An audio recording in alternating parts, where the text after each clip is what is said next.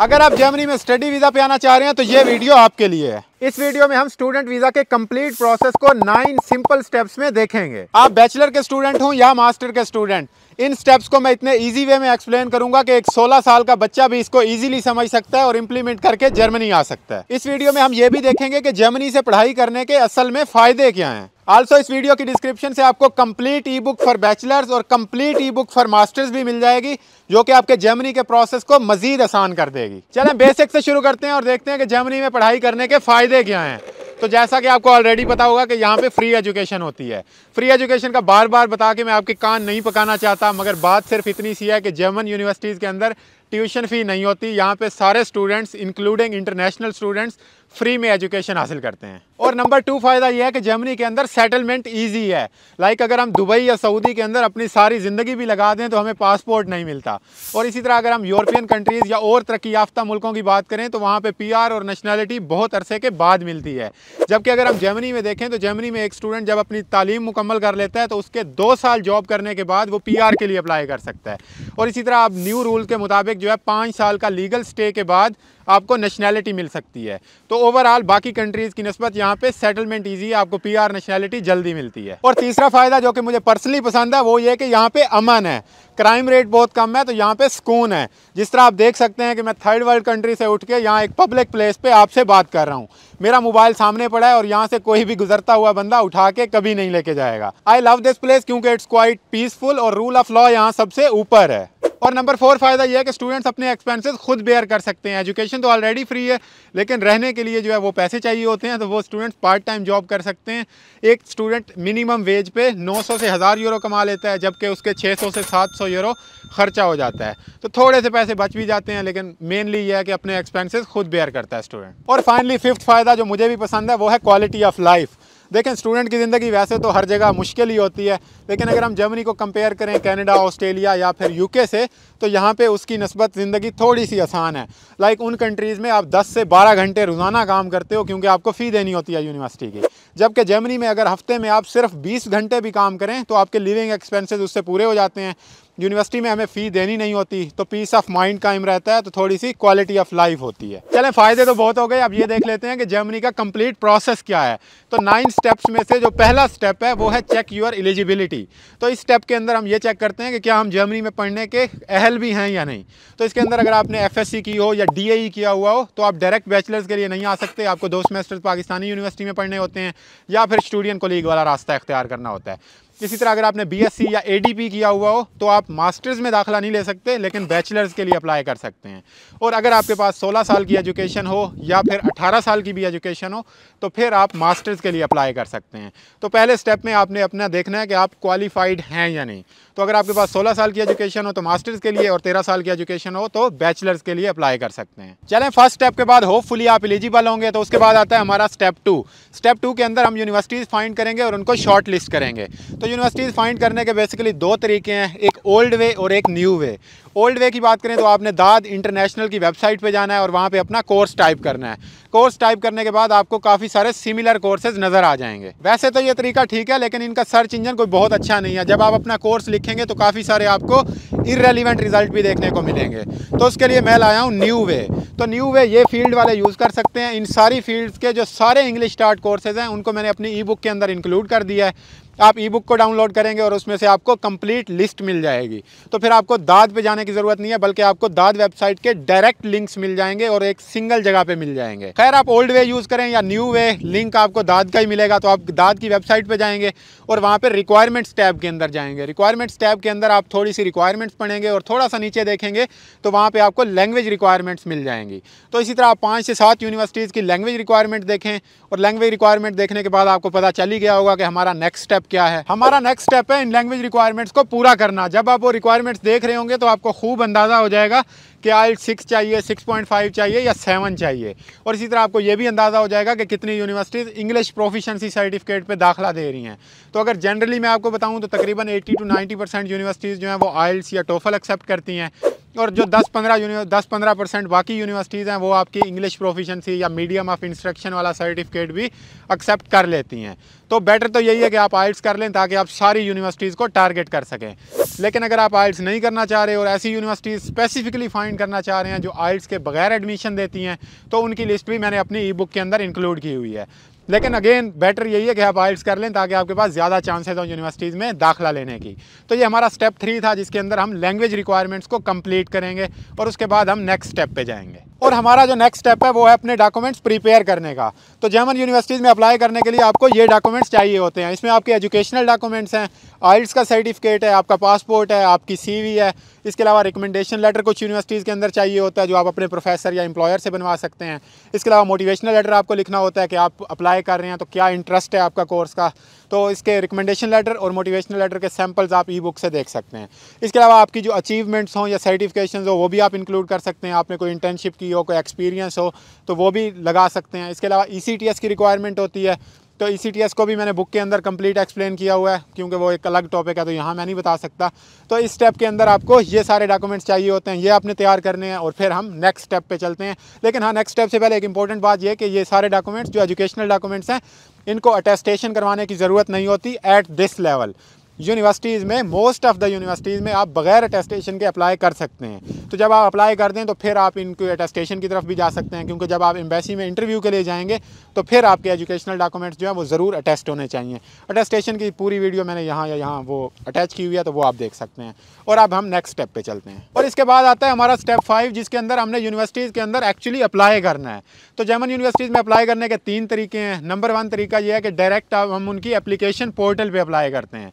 तो German universities कुछ German universities ने अपना एप्लीकेशन पोर्टल दिया होता है और वो कहते हैं कि आप सिंपली हमारे पोर्टल पे सबमिट कर दें एप्लीकेशन और हम इवॉल्यूएट करके आपको बता देंगे रिज़ल्ट फिर आता है दूसरा तरीका। दूसरा तरीका यूनिवर्सिटीज़ कहती हैं कि भाई, हमें एप्लीकेशन सेंड ना करो, हमारे पास बहुत एप्लीकेशन आती हैं, हम इसको मैनेज नहीं कर सकते। तो उन्होंने फिर थर्ड पार्टी की सर्विस ली हुई है, जो कि है यूनी असिस्ट तो आप एप्लीकेशन फॉरवर्ड करते हैं। यूनी असिस्ट को यूनी असिस्ट आपकी इनिशियली एप्लीकेशन को देखता है अगर यूनिवर्सिटी के डिफाइंड क्राइटेरिया पे आप पूरा उतरते हैं तो फिर आपकी एप्लीकेशन यूनी असिस्ट आगे यूनिवर्सिटी को फॉरवर्ड कर देता है। तो आप यूनी असिस्ट पे अप्लाई करते हैं और यूनी असिस्ट खुद यूनिवर्सिटी के अंदर अप्लाई कर देता है। ये होता है सेकेंड तरीका। और फिर आता है थर्ड वे थर्ड वे के अंदर यूनिवर्सिटी कहती है कि भाई, आप हमारे ही पोर्टल पे अप्लाई करें, लेकिन हमें एक डॉक्यूमेंट चाहिए और उस डॉक्यूमेंट को कहते हैं VPD तो यूनिवर्सिटी कहती है, आप यूनी असिस्ट से पहले VPD डॉक्यूमेंट लें। वो वीपीडी डॉक्यूमेंट जब आपके पास आ जाए तो फिर आप हमारे ही एप्लीकेशन पोर्टल पे अप्लाई करेंगे। मगर हमें कैसे पता चलेगा कि इन तीन तरीकों में से कौन सा तरीका इख्तियार करना है? तो देखें हमने स्टेप टू के अंदर जो यूनिवर्सिटी शॉर्ट लिस्ट की थी ना, आपने उसी तरह दाद की वेबसाइट पर जाना है और रिक्वायरमेंट्स वाले टैब के अंदर जाना है। रिक्वायरमेंट्स वाले पेज के बिल्कुल आखिर पर लिखा होता है सबमिट एप्लीकेशन टू तो वहाँ पे यूनिवर्सिटी ने डिफ़ाइन किया होता है कि हम कौन से तरीके के साथ एप्लीकेशन एक्सेप्ट करते हैं। तो आपने वहाँ पे देखना है और फिर उसी तरीके से अप्लाई करना है। अच्छा एक बात इंपॉर्टेंट कि ये जो अप्लाई हो रहा है, ये सारा ऑनलाइन ही अप्लाई हो रहा है। जर्मनी की तकरीबन नबे यूनिवर्सिटीज़ जो हैं, वो सिर्फ़ ऑनलाइन ही एप्लीकेशन लेती हैं, लेकिन कुछ यूनिवर्सिटीज़ लाइक दस यूनिवर्सिटीज़ वो कहती हैं कि हमें फ़िज़िकल डॉक्यूमेंट्स भी भेजो। तो आपने फिर अपने डॉक्यूमेंट्स की कॉपीज़ करानी है नोटरी पब्लिक से अटेस्ट करवाना है और फिर उनको पाकिस्तान पोस्ट से TCS से या DHL से उनको जर्मनी के अंदर भेज देना है। बट मोस्टली यूनिवर्सिटीज़ ऑनलाइन होती हैं, आपको भेजने की ज़रूरत नहीं होती। यूनिवर्सिटीज़ में अप्लाई करने के बाद हमारे पास नेक्स्ट स्टेप आ जाता है, जो कि है accept one of the admission letter मतलब जब आप यूनिवर्सिटीज़ में अप्लाई कर रहे होंगे ना तो कोशिश करें कि ज़्यादा से ज़्यादा यूनिवर्सिटीज़ के अंदर अप्लाई करें, ताकि आपके पास मल्टीपल एडमिशन लेटर आएँ। मल्टीपल एडमिशन लेटर आने के फ़ायदे होते हैं लाइक चॉइस बन जाती है कि आप इस यूनिवर्सिटी के अंदर जाएँ या इस यूनिवर्सिटी के अंदर जाएँ। इसी तरह जो है कुछ यूनिवर्सिटीज़ डेफरमेंट अलाउ कर जाएँ।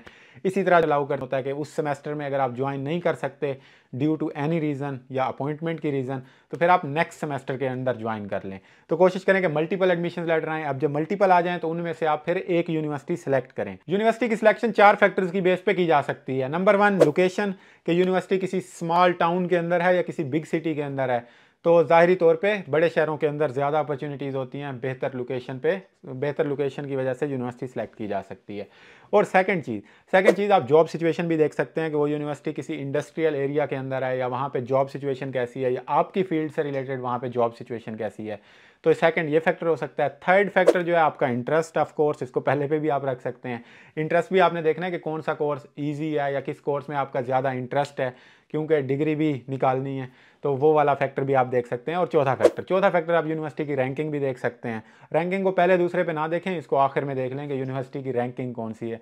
क्योंकि जर्मनी की पब्लिक यूनिवर्सिटीज़ जो हैं, वो इतनी ज़्यादा अपनी रैंकिंग पे काम नहीं करती कि एक दूसरे से आगे बढ़ने की तो रैंकिंग तकरीबन एजुकेशनल लेवल सेम ही होता है यूनिवर्सिटीज़ के अंदर। थोड़ा बहुत फ़र्क होता है बट रैंकिंग को भी आप कंसिडर कर सकते हैं। तो इन फैक्टर्स की बेस पे आप अपनी यूनिवर्सिटी फाइनल करेंगे और उस यूनिवर्सिटी के अंदर इनरोलमेंट की रिक्वेस्ट दे देंगे।